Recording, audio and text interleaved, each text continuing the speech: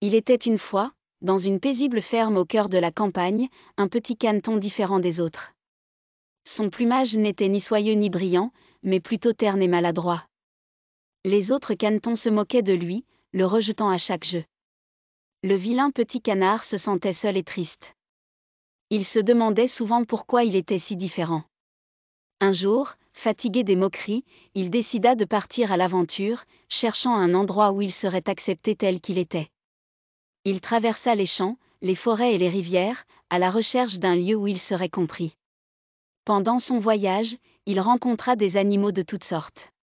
Certains se moquaient de lui, d'autres l'ignoraient, mais aucun ne semblait le comprendre.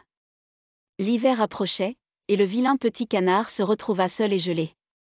Il se réfugia dans un lac gelé, espérant y trouver un peu de chaleur. Là, il rencontra un groupe d'élégants cygnes blancs. Craignant leur rejet, il s'approcha timidement. À sa grande surprise, les cygnes l'accueillirent chaleureusement. Ils lui dirent qu'il était l'un des leurs. Le vilain petit canard comprit alors qu'il n'était pas un canard ordinaire, mais un cygne majestueux. Son apparence avait changé pendant son voyage. Ses plumes ternes s'étaient transformées en un plumage blanc et éclatant. Le vilain petit canard était devenu un magnifique cygne. Il n'avait pas été rejeté pour sa différence, mais plutôt parce qu'il était unique. Maintenant, entouré de ses nouveaux amis, il se sentait enfin accepté et aimé pour ce qu'il était. Le vilain petit canard comprit que la véritable beauté résidait dans la diversité et l'acceptation de soi.